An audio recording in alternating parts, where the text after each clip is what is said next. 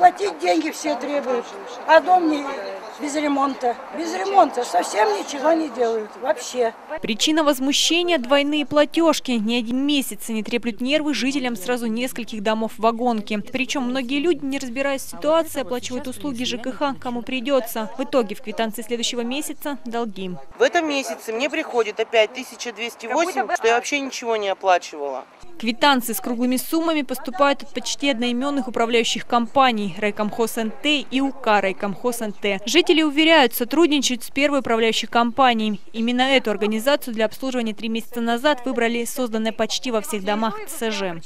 Переходили мы из компании в компанию из-за того, что, значит, думали, какое-то улучшение будет нашему дому. Но улучшений так и не было. Мы уже прошли нам пять компаний.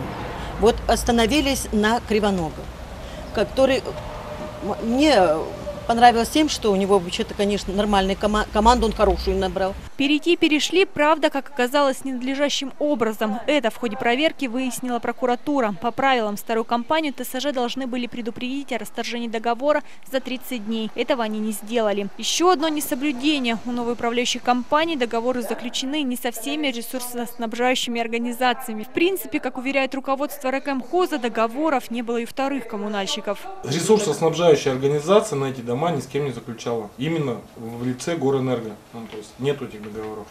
То есть у меня да, на данный момент остался последний договор, это тот с Горэнерго. То есть у меня с Роскомэнерго, с водоканалом, все э, с Элисом, то есть вывоз ТБО. То есть со всеми ресурсниками, те, которые поставляют коммунальную услугу, заключены договора. Осталось только тепло. Как только договор у Горэнерго будет подписан, говорят в Ракомхозе, двойные квитанции исчезнут. Однако, когда это произойдет, там разводят руками. Тем временем люди думают вернуть кровно заработанные. В прокуратуре говорят, это возможно. Если будет, будет человек продолжать платить по той квитанции, которая была, если у него поступает новая, в любом случае э, свою обязанность об оплате жилищно-коммунальных услуг он исполнил. Это подтверждается счетом квитанции, выставленной той э, организации, которая ранее была у него э, в качестве управляющей, и фактом оплаты, который подтверждается соответствующим оттиском.